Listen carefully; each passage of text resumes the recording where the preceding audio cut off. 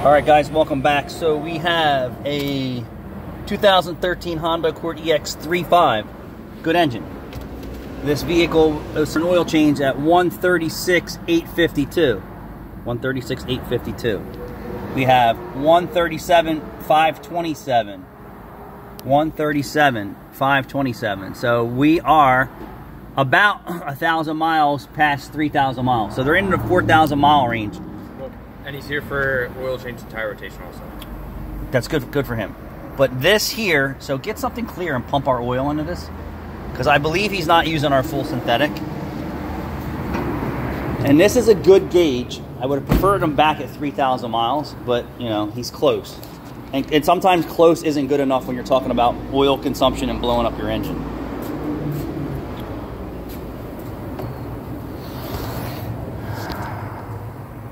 All right, so we're gonna pull the dipstick out.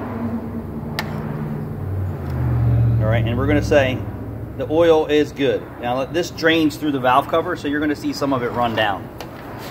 So we're gonna prop you up a little bit here. And I, and I hate these designs because if you're not an experienced oil change person, with the customer checking the oil, they may or may not know somebody was like, "Oh, can you just put it against something white?" Well, I don't have anything white in a shop that we do dirty work in. How about that? So the oil is full, and in my opinion, it's fairly clean. But we're going to compare the color of this to what our oil looks like, right? So if you take a look at what it is, it's pretty close in the spectrum. So this tells me this engine's fairly clean. Uh, this is an Earth Dreams engine, and I don't believe it's GDI. What's happening? We're making a video. Are you? Same old. Yeah, so this is a non-GDI engine. Probably one of the best engines Honda's made in, in its V6, and even earlier. It's a three, it's J series.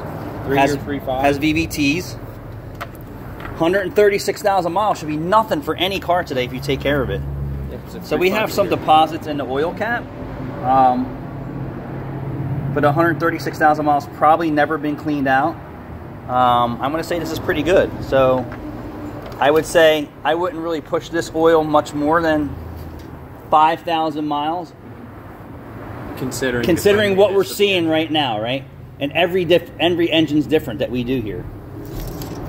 It's not burning it. It's not cooking it on the oil stick, right? So that tells me they're they're they're following what we're saying. So now we're saying this engine oil that we use here for this vehicle, our bulk five synthetic blend 520. So I don't know if they're using full synthetic or not. I'm going to tell you they're probably not.